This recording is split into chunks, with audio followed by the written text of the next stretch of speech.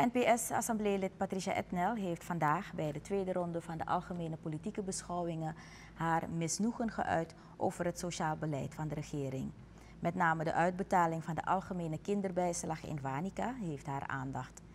De kinderbijslag is nog steeds niet uitbetaald vanwege geconstateerde ongeregeldheden door het ministerie van Sociale Zaken.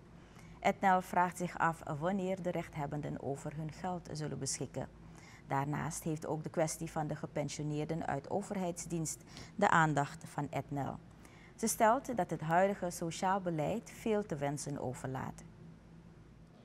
We zitten nog steeds te wachten op het rapport met betrekking tot het bepalen van de armoedegrens. Daarover heb ik de president niets horen praten, niets horen zeggen.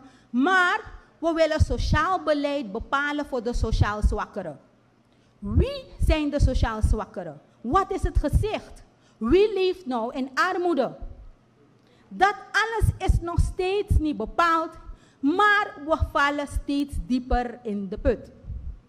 En we willen hier zeggen dat we in 2018 betere tijden kregen. Als deze regering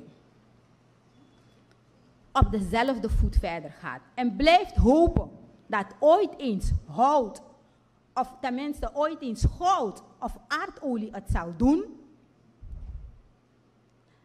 dan mogen we wel erop rekenen dat Suriname voor 2020 klaar is.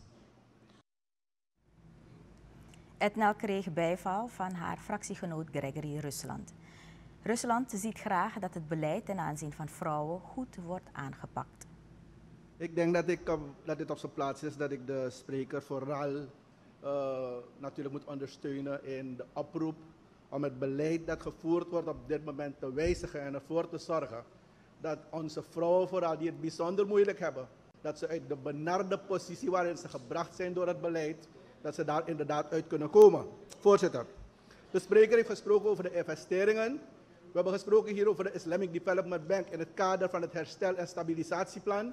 En ook ik ben benieuwd naar de stand van zaken in de uitvoering van de afspraken die hier gemaakt zijn, de beloftes die hier gemaakt zijn door de regering.